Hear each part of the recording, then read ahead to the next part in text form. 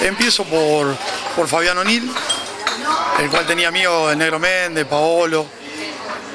Eh, veían que yo tenía condiciones o que me respetaban.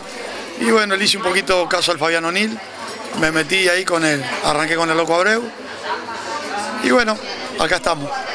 Se habla mucho de los contratistas, generalmente se habla mal. ¿Cómo es el trabajo realmente del contratista? Se habla mal porque han hecho las cosas mal. Se han quedado con cosas indebidas, no viene el caso nombrar a nadie. Pero bueno, creo que ahora hay una nueva camada que están haciendo bastante bien las cosas y el trabajo contratista es conseguir el trabajo del jugador de fútbol. De eso se trata, que el jugador no se quede parado, tratar de estar al lado de él, ser un poco padre y, sí, conseguirle trabajo. Eso es fundamental. Hoy en día, ¿cuántos jugadores representás? Y tengo como 70. Eh, en, el, ¿En Europa cuántos tenés? En Europa tengo como 10. En Italia, en España, en Bélgica, en Hungría. Y bueno, dándole, yendo a ver a los, a los negros chicos, como le digo yo, porque si no voy me extraña. Pero bien, bien. ¿Cuál ha sido el negocio más complicado en tu carrera? Ya son varios años de carrera que tenés. Complicado no, no son, lo que pasa es que a veces se ponen trabas y tenés que tratarlo de solucionar porque vos sos el representante, pero complicado es como cualquier trabajo. La honestidad del contratista también a veces está en juego. ¿Por qué crees que se da eso? Porque todo en la vida pasa por la honestidad. Yo siempre le digo a los jugadores y a mis hijos mismos y a mis sobrinos que la palabra respeto es todo. Cuando hay respeto, la honestidad, el ser fiel, el ser honesto, respeto, hay que respetar tanto al que tiene como al que no tiene. Entonces yo me planteo siempre lo mismo. Cuando me siento con una persona, tengo que respetarla como tal. ¿Qué vale más, un contrato o la palabra para vos? Para mí la palabra. Siempre va a ser así. Mi mamá me crió así y no voy a cambiar nunca. Voy a seguir siempre. Bueno, preguntarle a cualquier club, a cualquier jugador mío, yo no firmo nada. Boca, muchas veces te han denostado, soy testigo, lo he escuchado, que el Boca se droga, que está en la merga, que está... Lo hablo sin pelos en la lengua porque lo hemos hablado y quiero preguntarte al respecto también. Yo no, no tomo alcohol, los que me conocen no tomo droga, pero bueno, que hablen tranquilo, yo sigo mi camino. ¿Es pesado el ambiente?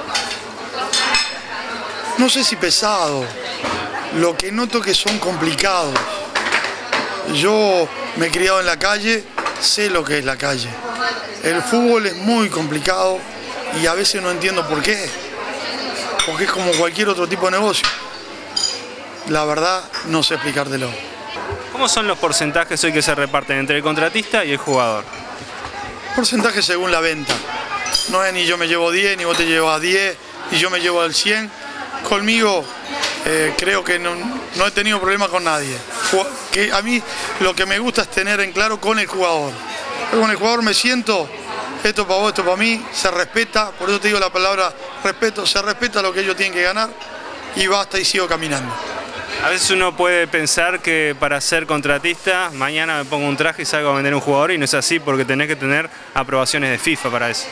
Sí, yo soy agente de FIFA, tenés que dar un, un examen yo ya hace 8 o 10 años que soy agente FIFA, pero eh, representante puede ser cualquiera.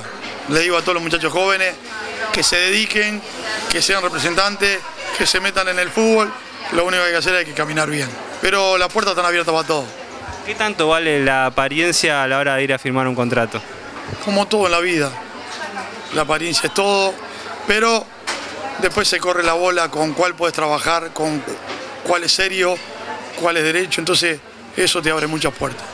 En el mundo de los contratistas, ¿hay coimas, por ejemplo, a un entrenador, a un periodista? Soy periodista, por eso también te pregunto. Como todo ámbito de la vida. Todo ámbito de la vida, no creo que haya un sí o un no. Eso queda para cada uno. El ser un tipo claro en la vida, un hombre de palabra y de respeto, como me lo estás diciendo, a veces te juega en contra. Por ejemplo, quizás que no tengas un jugador en la selección. Puede ser. La verdad que me lo he pensado muchas veces, puede ser. Igual tengo al Popi, que, fue capitán de Nacional y ahora lo tengo en libertad.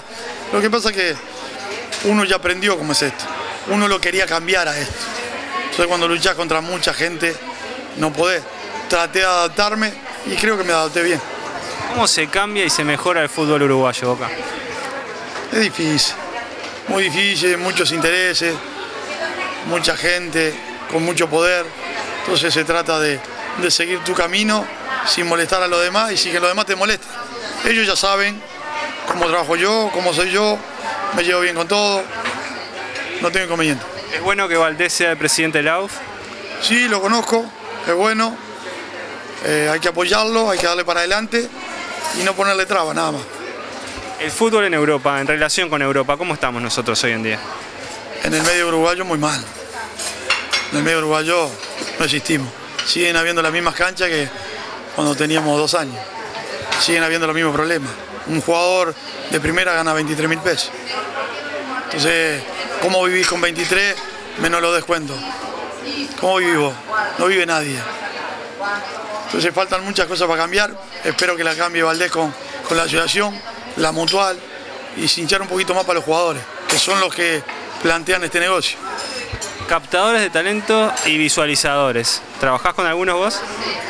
No, no trabajo con nadie. El talento es, vas a una cancha y ves cómo para la pelota, ya te das cuenta si tiene talento o no. Eh, de talento no sé.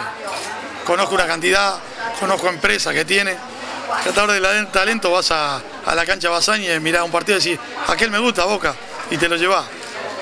Es según cómo trabajen todos. Uno con captadores, otro vas vos y lo ves personalmente. ¿Has hecho dinero? ¿Qué tanto dinero? Mucho, poco, no te pregunto cifra. Se hace dinero, sí. Siempre me dicen a mí, por pequeños inconvenientes que yo tuve con, con el grupo Casal, que hay un antes y un después. Ahora se trabaja, trabajan todo, hacen dinero, no sé si mucho o poco, pero se trabaja y se trabaja bien. A veces cuando la gente hace dinero, cambia los hábitos. ¿Vos qué tanto has cambiado eso? Ninguno. Vivo cerca de la cancha de Basaña con mi madre, eh, tranquilidad total, siempre paro en el mismo lugar. No, no, no he cambiado para nada. El que me conoce sabe que no. A veces te maría, no, yo no me mareo. ¿Qué mensaje le das a un jugador que va a firmar su primer contrato? ¿Qué tiene que tener en cuenta? Confianza y respeto.